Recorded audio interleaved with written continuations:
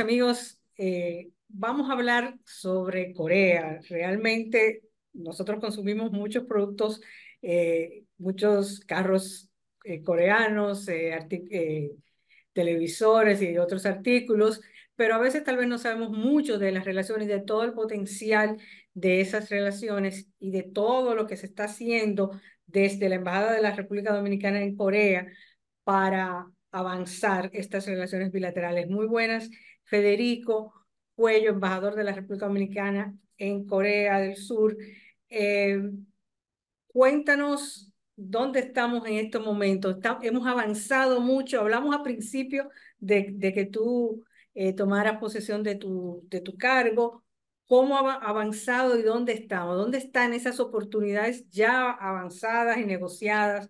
en qué lugar estamos con las relaciones con Corea y cómo podemos explotar más esas oportunidades. Pues es un placer estar de nuevo en este programa, eh, Tayana, y la verdad que eh, me ha tocado el privilegio de representar a la República Dominicana en este importantísimo país, gracias a la decisión del presidente Luis Abinader. Eh, el, el, canciller Roberto Álvarez me llamó en septiembre del año 2020 para darme la grata noticia de que me querían aquí eh, y mis instrucciones desde el primer momento fueron muy claras. Hay que llevar a la relación bilateral al sitial que se merecen.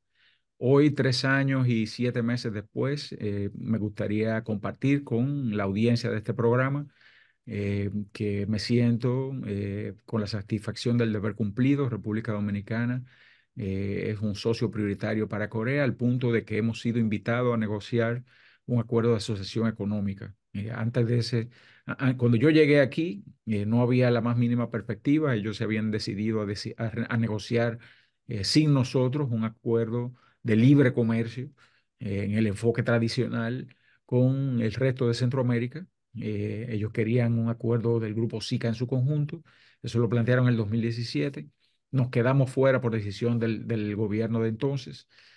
Y como resultado del interés que tiene el sector privado coreano en República Dominicana, eh, más eh, los contactos eh, sumamente importantes que hizo la excelentísima señora vicepresidenta de la República, doña Raquel Peña, cuando vino aquí en abril del 2023 con una importantísima delegación ministerial y empresarial, pues República Dominicana hoy puede decir que está en el umbral de una nueva era con Corea, una era que y construya una nueva relación mucho más estrecha, mucho más diversa, mucho más equilibrada para el potencial de la República Dominicana como país exportador, eh, que no solamente nos coloque a nosotros en esas redes, eh, en esas cadenas de suministro integradas que tiene Corea eh, con el resto del mundo, ayudándonos a diversificar nuestras propias exportaciones con inversiones coreanas, sino además que nos ayude a trabajar por la transición energética, por construir una economía circular,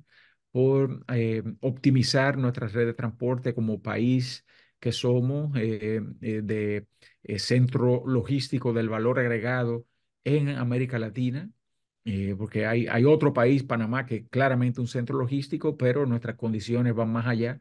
Nosotros tenemos una capacidad de dar más valor agregado por el tamaño superior de nuestro mercado laboral y, nuestra mayor cercanía a, mercados de destino como los de Estados Unidos y la, Unión Europea.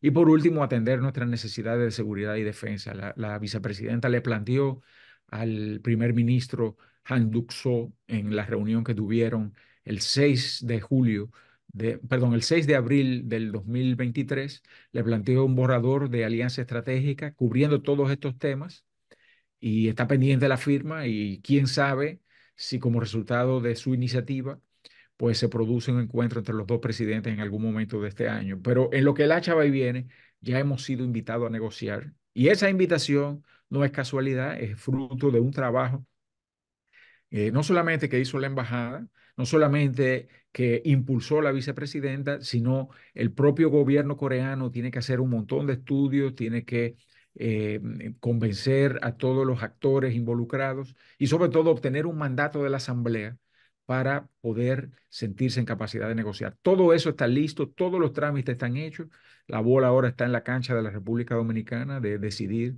eh, los términos y el momento del lanzamiento de las negociaciones. Eh, la, gran pregunta es ¿Será esto eh, para beneficio de la República Dominicana? Resulta que en el 2022 el Banco Centroamericano de Integración Económica financió un estudio de impacto que elaboró la experta dominicana Elka Shecker, un estudio muy, muy detallado eh, que merece más, la más amplia difusión, donde queda claramente demostrado que el libre comercio entre República Dominicana y Corea, primero que nada, crearía comercio, eh, o sea, el comercio que todavía no tenemos lo vamos a tener gracias a, un tratado con eh, la República de Corea, igual que hay un comercio mucho más diverso en países que tienen una estructura productiva similar a la nuestra, por ejemplo Colombia o Costa Rica, están exportando muchísimo a Corea gracias a que tienen libre comercio. Segundo, el sacrificio fiscal sería mínimo, sería algo así como 20 millones de dólares, por lo cual no hay que temerle a eh, medidas compensatorias de tipo recaudatorio, fruto de la entrada en vigor de este acuerdo. Y tercero, son economías complementarias economías cuyos sectores productivos más competitivos eh, no son los mismos. Ya lo que Corea quiere exportar a la República Dominicana lo está exportando. Eh, lo que nosotros queremos exportar a Corea no lo estamos exportando todavía porque no tenemos libre comercio y no nos está yendo mal en Corea. Nosotros exportamos casi 600 millones de dólares, perdón, el comercio de, eh, en ambas direcciones es casi 600 millones de dólares, o sea, más importante, pero con mucho lo que tenemos con el Reino Unido y, vemos ¿no? la presencia que tiene la relación bilateral con el Reino Unido nuestra prensa, la Semana Dominicana, todo eso. Pues resulta que con Corea las cosas son mucho más importantes y es hora que eh, esta relación bilateral eh, que hemos posicionado por instrucciones del canciller eh, en el sitial que se merece, produzcan los resultados que, que el país se merece eh, incrementando y diversificando nuestras exportaciones. No, comencé a decir, no nos está yendo mal. ¿Qué estamos exportando? Estamos exportando dispositivos médicos a Corea. Mientras otros exportan bananos, otros exportan productos primarios, nosotros estamos exportando productos terminados. Entonces, ese potencial que ya eh, estamos comenzando a aprovechar se puede diversificar aún más cuando captemos inversiones coreanas para, por ejemplo, industrializar nuestros minerales críticos. La nueva economía de mm, la sostenibilidad, de la industria de la información, tiene como insumo los llamados minerales críticos, muchos de los cuales existen en la República Dominicana. Eh, los, llamados, las llamadas tierras raras existen en una calidad excepcional en, en, provincias como la de Pedernales, donde hay bauxita, que también es otro mineral crítico. Tenemos ferroníquel, tenemos zinc, tenemos cobre. Eso, eso nos posiciona a nosotros frente a un socio como Corea para captar sus inversiones, extraer e industrializar, agregarle valor a ese mineral bruto y en consecuencia insertarnos en sus cadenas de suministro de, la economía del futuro eh, que tiene que comenzarse a construir, querámoslo o no, porque eh, es parte de la respuesta que el mundo tiene que darle a el cambio climático y, a los objetivos de desarrollo sostenible acordados en 2015 en la ONU.